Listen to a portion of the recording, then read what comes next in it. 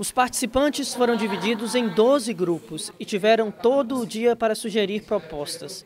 A novidade desse evento é que as lideranças da comunidade externa também foram convidadas. Aqui nós temos representantes de toda a comunidade acadêmica e também da comunidade externa.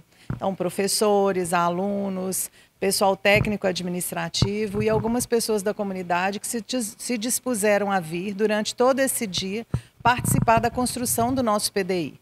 Então, ao longo do dia, eles estarão tendo a ideia das metas, trabalhando temas centrais da nossa instituição e programando né, o futuro da Universidade Vale do Rio Doce para os nossos próximos cinco anos.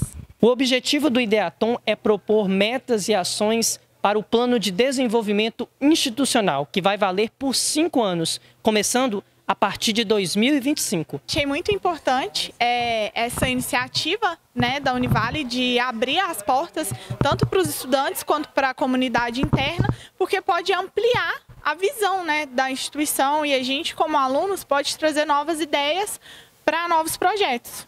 Temas como inovação, vozes e território foram discutidos nos grupos. As ideias vieram de um grupo muito diversificado, então a gente tem ideias aí desde coisas bem simples e básicas até ideias que vão transformar realmente assim essa questão do conhecimento e do ensino da Univale.